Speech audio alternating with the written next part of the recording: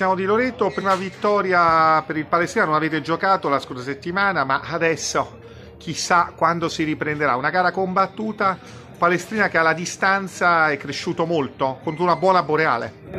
Sì, un'ottima squadra, a parte la classifica, la chiaro, per partire 7 punti, noi siamo venuti qua cercando di fare la partita, ci siamo riusciti sin da, dall'inizio e penso che il risultato alla fine abbia premiato e sia giusto. Al di là che adesso chissà quando si riprenderà, come dicevamo poc'anzi, eh, il mercato è ancora aperto? Sono previsti ultimi colpi da parte del Palestrina o, state, o il mercato è chiuso? Ma penso che per adesso sia chiuso, stiamo cercando soltanto di rafforzarci con qualche under che abbiamo problemi con il 2002 per, il ruolo di difensore.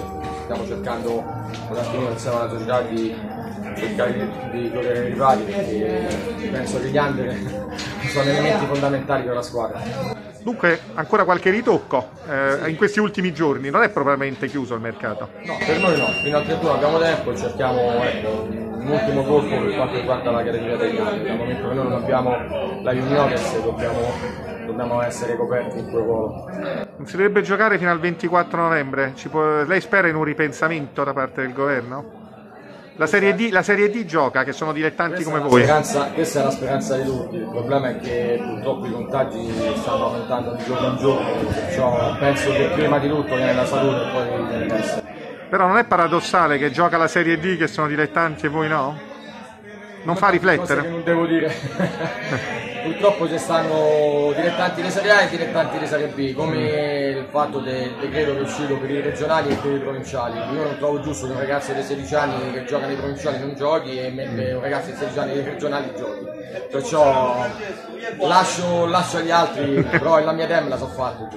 Aldobrando Franceschini, eh, sconfitta amara per la Boreale contro un buon Palestrina, avete lottato fino alla fine nel finale forse mi è mancata un po' di lucidità?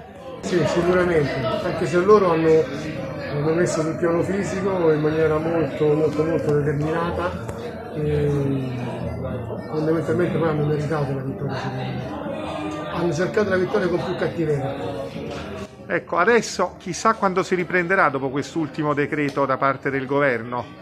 Questo... mi fa pensare che la Serie D va in campo e i campionati regionali no e se non siete dilettanti come loro. Questo secondo me è stato il nostro problema oggi perché eravamo convinti di non giocare, si gioca, non si gioca, si gioca, non si gioca, oggi abbiamo affrontato come se fosse una partita eh, di fine stagione, non è così, non è così. Loro invece sono entrati in campo con una determinazione diversa, con una cattiveria diversa e, e questo non l'abbiamo pagato.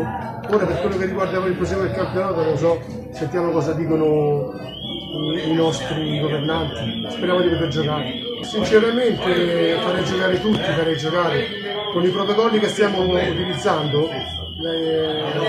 c'è una protezione enorme da parte delle società, c'è una, un lavoro a monte pazzesco, per cui non so, non vedo queste differenze, si potrebbe giocare tutti.